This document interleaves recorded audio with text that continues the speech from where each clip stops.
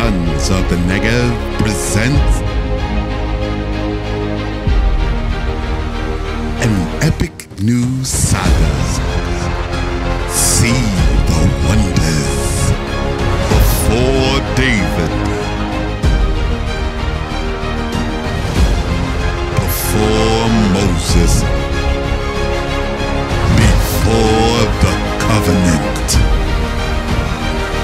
When Nimrod ruled all the world,